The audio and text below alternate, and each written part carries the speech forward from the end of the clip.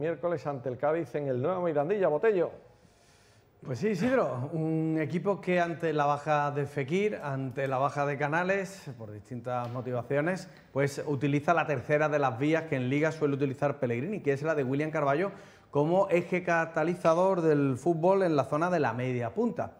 Y lo vamos a ver desde atrás hacia adelante, destacando ante el equipo de Simeone, sobre todo tres zonas claves que hay que tener en cuenta y que durante el partido todos debemos prestar muchísima atención. La primera de esas zonas es la parte de los centrales, porque por ahí, con espacios, la dupla ofensiva, una de las mejores delanteras de Europa, Griezmann y Morata, tanto con movilidad como al espacio, pueden provocar la duda de la pareja de centrales, dado que la movilidad de Griezmann sobre todo, eh, aunque luego la analizaremos en profundidad, pero esa movilidad entre líneas puede eh, hacer dudar a los centrales de si saltar o no saltar a la presión.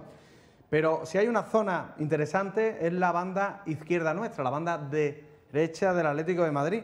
Por ahí está uno de los futbolistas más profundos, más determinantes, Molina, lateral argentino, y por delante seguramente Correia ocupará esa demarcación también. Una banda derecha que debe obligar a Andrés Guardado, y aquí lo hemos resaltado en esa eh, zona un poquito más rectangular, a ayudar al canterano y al catalán, porque no podemos tener inferioridad numérica por esta zona.